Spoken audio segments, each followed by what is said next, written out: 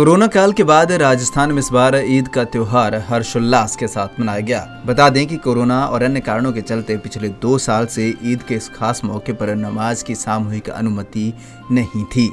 दो साल तक मुस्लिम समाज ने घरों में रहकर ईद की नमाज़ अदा की।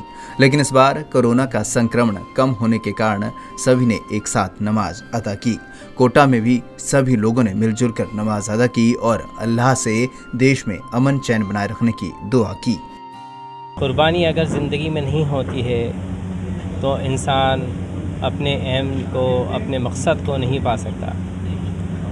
अपने मकसद को पाने के लिए आदमी को कुछ ना कुछ कुर्बानी देनी पड़ती है।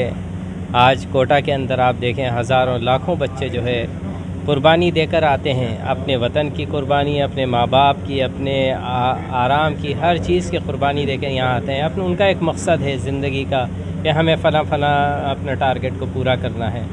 इसी तरह इंसान की ज़िंदगी है कि इंसान अपने किसी भी कामयाबी के लिए जो जद्दोजहद करता है, कोशिश करता है तो उसको जो है अपनी वक्त की, अपने माल की, अपने जान की कुर्बानी देनी पड़ती है। इब्राहिम सलाम ने जो एक नमूना पेश किया कुर्बानी का कि जब उनसे कहा गया कि ये हर एक इंसान के बस का काम नहीं था, ये एक नबी का ही काम था कि वो जब खुदा ने उनसे अपने अपने बेटे की कुर्बानी मांगी तो वो उसके लिए भी तैयार हो गए। खुदा को कोई बेटे की कुर्बानी लेना मकसूद नहीं था। तो दुनिया को ये दिखाना था कि जब आपको कामयाब होना है तो आपको ज़िंदगी के अंदर कामयाबी देनी है, जो है कुर्बानी देनी है। तो अपने बेटे को कुर्बान करने के लिए तैयार हुए। उसकी जगह पर जो है फिर जब कबूल की गई कुर्बानी तो अपने उसकी जगह जानवर ज़िबा किया गया।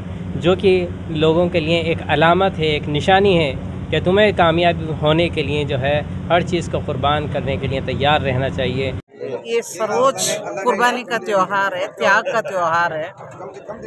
अल्लाह के नाम पर कुर्बानी करने की जो जज्बा है, कुर्बानी कोई वो नहीं है कि बकरे की कर रहे हैं या कुछ है। एक भावना है, एक इमोशन है जो अपने पालनहार है, जो आपको पैदा करके पालने वाले जो खुदा पाक है, अल्लाह है, उनके नाम पर आप कुछ भी कुर्बान कर सकते हो, चाहे अपनी औलाद हो, चाहे कोई रिश्ता हो। उनको कुर्बान कर सकते हो उसके रास्ते में। ये उस शहादत को, उस कुर्बानी को, उस उस चीज़ को, उस भावना को दिखाता है कि आप में कितनी जज्बा है खुदा के रास्ते में, इंसानियत के रास्ते में। आप क्या कुछ कुर्बान कर सकते हैं, ये उसका इम्तिहान का सबसे बेहतरीन मिसाल है।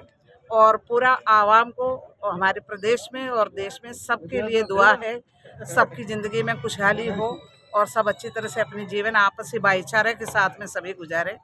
और वो त्याग को, उस कुर्बानी को ये त्यौहार याद दिलाता है। वहीं बीकानेर में एक अनूठी मिसाल पेश करते हुए अखिल भारतीय जनवादी महिला समिति की ओर से ईदगाह के बाहर नमाज़ अदा करने के बाद राष्ट्रीय एकता व भाईचारे का संदेश देने के लिए राष्ट्रीय ध्वज फहराया गया। और राष्ट्रीय गान कर एकता व भाईचारे के संदेश के साथ अहिंसा यात्रा का आगाज़ किया गया।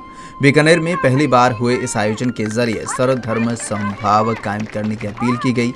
शहर काजी मुश्ताक अहमद ने ध्वजारोहण करने के बाद कहा कि बीकानेर की गंगा जमनी संस्कृति देश के लिए मिसाल है।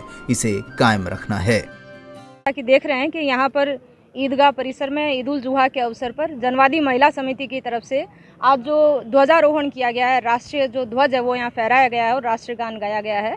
इसके पीछे मकसद और उद्देश्य सिर्फ़ एक ही है कि जिस तरह से देश में जो नफरत की राजनीति और हिंसा के साथ तेज़ी से जो फैल रही है, उसके खिलाफ हमने यहाँ से आज एकता और भाईचारे का संदेश दिया है कि हम किसी भी सूरत में इस देश में हिंसा को बर्दाश्त नहीं करेंगे, नफ़रत को बर्दाश्त नहीं करेंगे और इस देश को हम किसी भी सूरत में बंटने नहीं देंगे।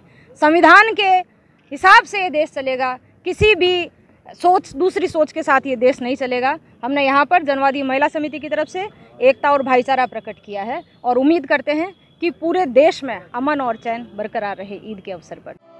देश भर में आज ईद का पर्व हर्षोल्लास से मनाया गया और देश की गंगा, जमनी संस्कृति और अमन चैन को बनाए रखने की दुआएँ की गई। पंजाब के टीवी के लिए कोटा से योगेंद्र महावर के साथ बीकानेर से आनंद आचार्य की रिपोर्ट।